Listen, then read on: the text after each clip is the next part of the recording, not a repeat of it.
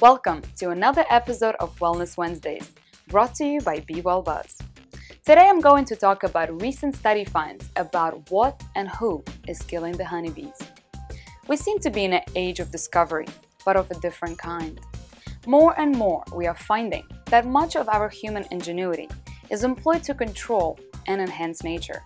The lack of foresight by past generations and current powers is reaping unforeseeable, unimaginable consequences. Who would have ever thought that spraying pesticides, herbicides, and fungicides in order to secure a greater harvest would actually become a threat to life itself? We've been talking a lot lately about the ill effects of these chemicals in the human digestive system. But now, scientists are tracing the poison to perhaps the most underappreciated workers in the world our honeybees. If you do even lightest research about colony collapse disorder, or CCD, you will find out about staggering losses to the honeybee population worldwide. The buzz about Mimimageddon is growing louder as problem worsens. These days, the average consensus among beekeepers points to about an 80% die-off of honeybees across the globe.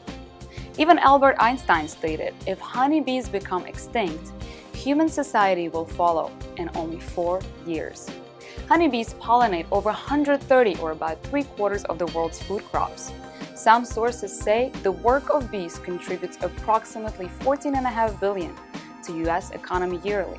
Another recent source said it's more like 30 billion. Either way, our little buzzing friends are worth billions of dollars, and not to mention the billions of people, like you and me, that depend on them for our daily food. The culprit behind CCD has been largely a mystery, but while the result of a study released from the University of Maryland and US Department of Agriculture may be shocking to some, for others, it's only a confirmation of a long-held suspicion. We can't yet explain why the entire colony sometimes fall dead all at once, but scientists are seeing at least one main reason why many are gradually falling ill and disappearing. Pesticides, herbicides, and fungicides have contaminated pollen, which is bee food. Researchers taking a close look at the pollen found various mixtures of chemical cocktails, even in wildflowers and weeds that have never been directly sprayed. The study reports our pollen samples contain an average of 9 different pesticides, ranging as high as 21 pesticides in one cranberry field. They collected pollen from some East Coast hives and fed it to healthy bees. The bees' immune system tanked, making them more susceptible to a parasite called Nosema ceranae. This parasite can quickly cause the whole colony to die. Bees can die within 8 days after exposure to it. The presence of one fungicide in particular made honeymakers three times more susceptible to this parasite. So should we ban that fungicide altogether and move on? Well, experts say that simply won't cut it. In 1980s, a class of insecticide chemicals called neonicotinoids were released over the food supply. And in January of this year, the European Food Safety Authority put a two-year ban on its use because of the dangers posed to bees. A few months later, these chemicals were further implicated by the American Bird Conservancy as being hazardous to birds and other wildlife. The EPA has even been sued by a coalition of beekeepers for their inadequate toxicity evaluations.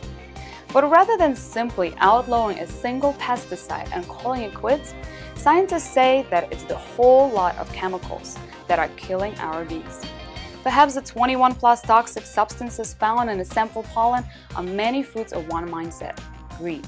In the interest of profit, we are trying to outdo nature. Like so many discoveries we've made about the factors that are causing health declines among all the nations, there is no one single ingredient to blame, but a mindset of greed given birth to colonies of artificial ingredients and methods which sacrifice the substance, which is food and life, to the shallow mass production and personal profit.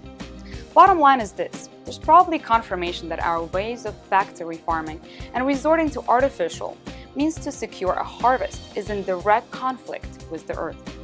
We once thought sterility would protect us forever from disease, but now we see that there are many beneficial microbes that should be welcomed into our bodies.